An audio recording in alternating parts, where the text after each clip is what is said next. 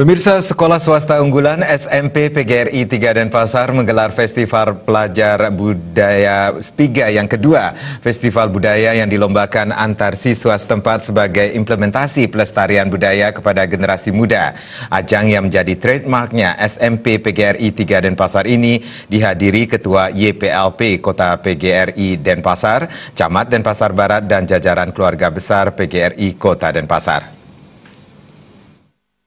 Kepala SMP PGRI 3 Denpasar, Dr. Ima Deswada menyatakan, Festival Pelajar Spiga yang diimplementasikan melalui Gembiar Budaya yang gelarannya dilombakan antar kelas ini diharapkan mampu meningkatkan kecintaan siswa terhadap seni budaya leluhur.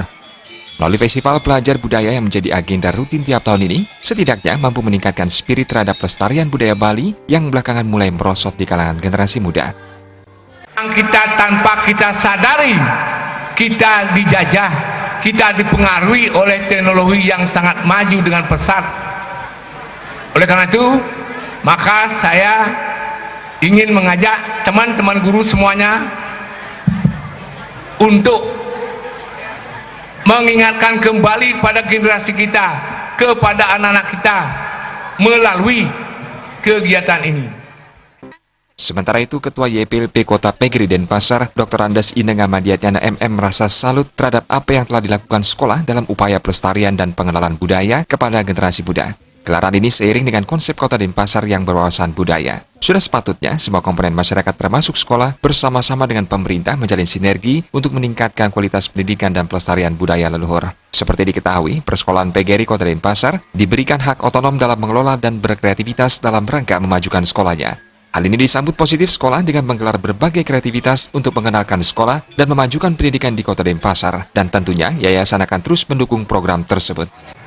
Dan eh, selanjutnya saya ucapkan selamat. Semoga kegiatan seperti ini bisa diteruskan. Walaupun ini adalah sudah merupakan yang kedua.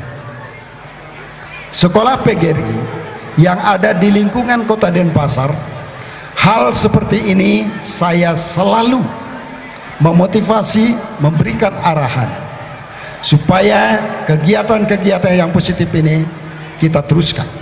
Dan kita sebagai yayasan, ketua yayasan, memberikan sepenuhnya tanggung jawab karena sekolah PGRI yang ada di kota, kota Denpasar adalah sekolah yang otonom. Sementara itu, Camat Denpasar Barat, Ana Agung Ngurah Madewijaya Esos menyatakan, ia sangat menyambut positif digelarnya ajang ini, di mana mampu memberikan pendidikan positif kepada siswa akan pelestarian budaya leluhur. Hal ini selaras dengan program Kota Denpasar dalam melestarikan budaya, yakni Patma Aksara.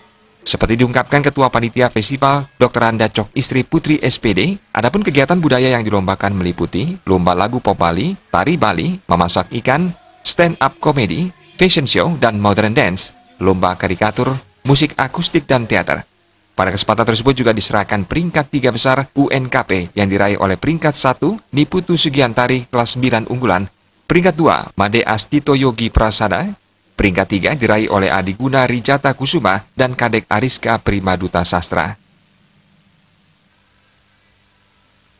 Tim Liputan